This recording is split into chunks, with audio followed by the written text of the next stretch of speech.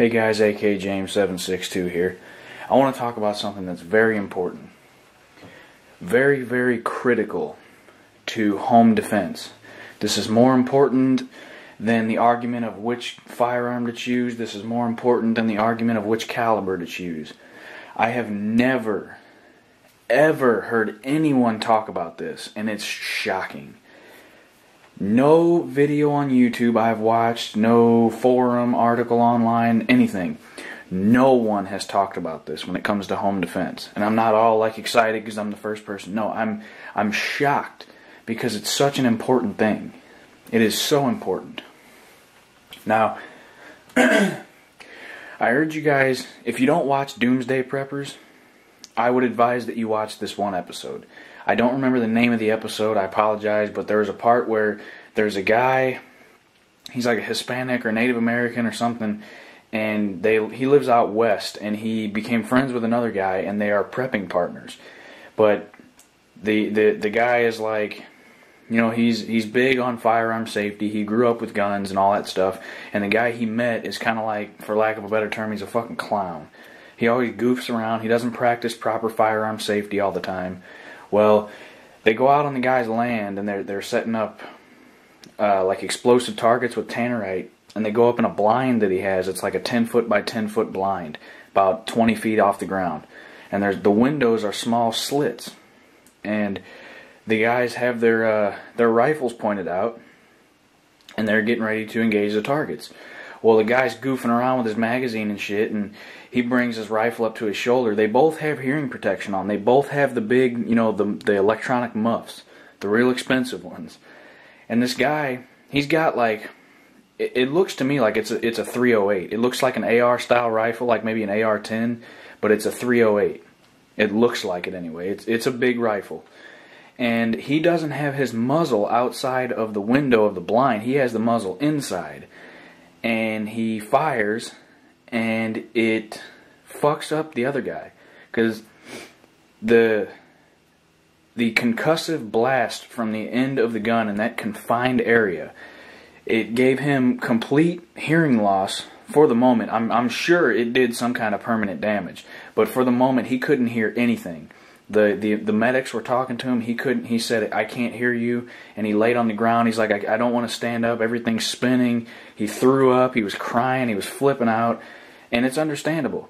And that's what you have to think about in home defense. That is the one of the most important things. I can I cannot believe no one has talked about this before. You have to understand that if you have to use a firearm in a home defense situation and you have to discharge that weapon in the house, it's going to fuck your ears up. You have to know that. You are in a confined space. Some people's houses are bigger than others. Some people's houses are uh, constructed to a certain, you know, in a certain way or what have you. I mean, everybody's home is different. But you have to know that you're you're in a confined area. You're not outside. And if you shoot that weapon, you have to know how your body is going to react to that concussive blast in that small of an area. Now, I am by no means saying for you to go shoot your gun inside your damn house. I'm not saying that at all. But I'm just saying that you need to, and, and I'm sure that in the in the moment your adrenaline's going to be pumping, and it's probably not going to affect you as much at first because your adrenaline's pumping. You're probably not going to feel it. But when you shoot a gun, gun, every caliber gun goes off. Every caliber firearm goes off at 140 decibels, give or take, and over. Now I've got two guns out here. It's a pump 12 gauge and a 9 millimeter. 12 gauges are fucking loud. I would bet money on that. I would bet any amount of money that they are way above 140 decibels when they go off. 12 gauges are fucking loud. You shoot a 12 gauge in the house and you don't have hearing protection, you're gonna feel it. You're gonna get that ringing in your ears. It sucks. I would definitely recommend that you invest in some kind of uh, quick hearing protection. Like if you if you need to defend your home, get something that next to your bed where your gun is that you can flip on your head real quick. You know, like the like the electronic muffs. These wouldn't be really good for that because you can't really get these in quick per se. You know, the muffs you can just you know, open them up and drop them right on your head. You don't have to twist them and hold them in there so they expand and all that stuff. You have to do that with earplugs. But, uh, you know, I'm serious. You have to know what is going to happen in your head, with your body, etc., when that gun goes off. It's more important than training. It's more important than what what gun you choose. It's more important than what caliber you choose.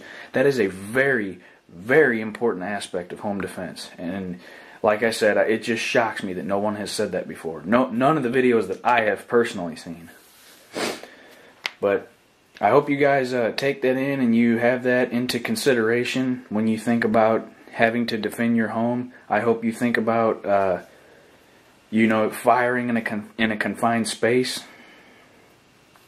But uh, chances are you're going to uh, have some type of permanent hearing loss. It might not be a bunt. It might not be a lot of hearing loss. Might not be much, but you're you will probably suffer some type of permanent hearing loss if you have to discharge your weapon indoors.